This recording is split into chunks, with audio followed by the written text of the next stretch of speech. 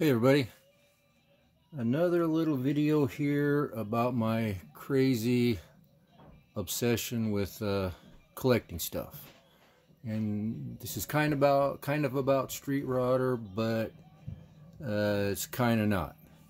Uh, a lot of you know about this magazine. It was around for a while. One of my favorite magazines, next to uh, uh, I can't remember the one is. Uh, I'll think of it in a minute. Anyway. This was a great magazine. I bought it for years, but what I liked about it, and a lot of you probably know this, is the modeler's corner in the back.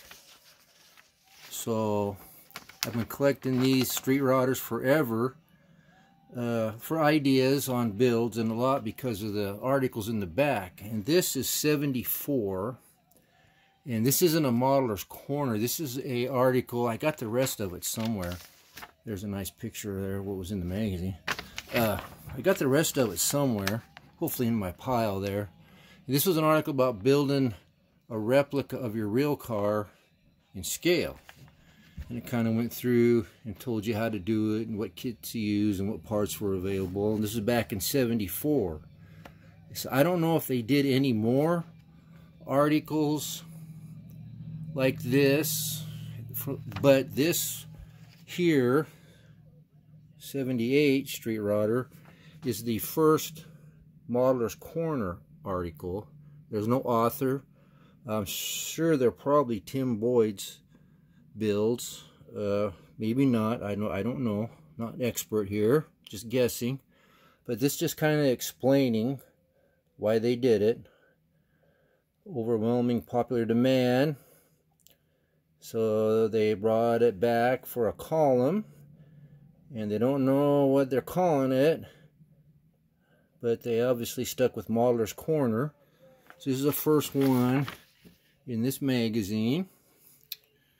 And it's uh, February 78 so every time I find old street rodders I buy them and collect these. So if we go over here I had a brainstorm here so we had to postpone the Camaro there for a little while because I had a brilliant idea to take all of them, because I would cut them out of the magazines, because they're easier to store than a whole bunch of Street Rodder magazines. So I cut all these out whenever I find them. Then I was at the swap meet. Oh, geez, about, oh man, I don't know, six years ago maybe, something like that. And a guy was had a bunch of magazines in his booth. And then we had a big rainstorm. He covered everything up nothing really got wet, but he wanted to go home.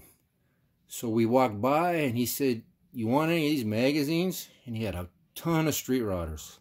So me and my son-in-law said, hell yeah. So I got a lot more. So what I'm doing is, is I'm dividing them up in years. So this year's another 78 in the article there. And then Tim Boyd, you know, I'm sure we've all heard of Tim Boyd. He became the author of these columns every month, and he would show his stuff, how-tos, uh, contest cars. You know, here I'm already up to, uh, what am I up to here? 81. Uh, this is my favorite article he did back in, oh, where's it at here? What did I just leave off at 81? So this must be 82. Yes, this is 82. Uh, that inspired me to build that panel I have. Just a beautiful model. I remember buying this, or some more pictures of it there. I remember buying this at Fred Meyer store and just wore the thing out. So anyway, and then here's, some, you know, some contests, some reader stuff. He'd do themes, kind of like he does in Scale Auto. And then uh, he, and over here I got like, I'm up to 86, 88. There's some cool pictures there and stuff. Then I got up in the 90s. He did some features on some builders. I don't know if anybody knew uh, Prior Passerino. He's from California. He came up here, oh geez, quite a few years ago. Probably before 90. I met him. A pretty nice guy. And uh, this shows some of his builds. He did a lot of commission builds. I think he's uh, passed away.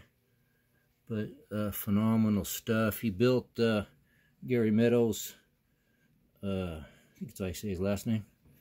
Anyway, he built his little uh, sedan there, a replica of that. Really cool. So that's kind of neat.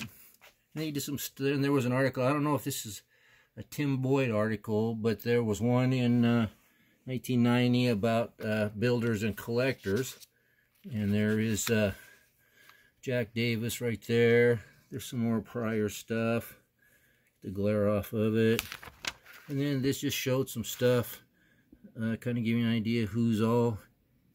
Damn glare. Who's all in the article here. It's a pretty neat one. Uh, there's some crazy stuff there. Dave Hill. I don't know if anybody's heard of him.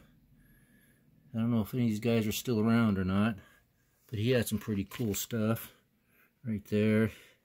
He did a lot of those uh, cutting the cab off, or cutting the roof off the cab, making little pickup things, roadster pickups, whatever you call them.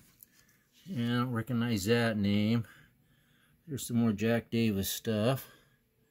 Pretty cool stuff. And we all know Larry Wood from Hot Wheels Guy. Dave Peters, I've seen a few of his things around here and there. Let's flip the page here.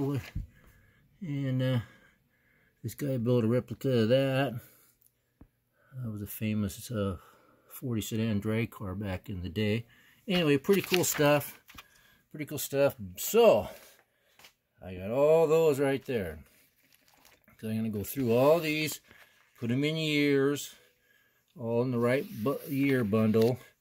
Then I'm going to put them in the clear sleeves, kind of like what I did with my contest stuff and put them in one another one of those big white binders.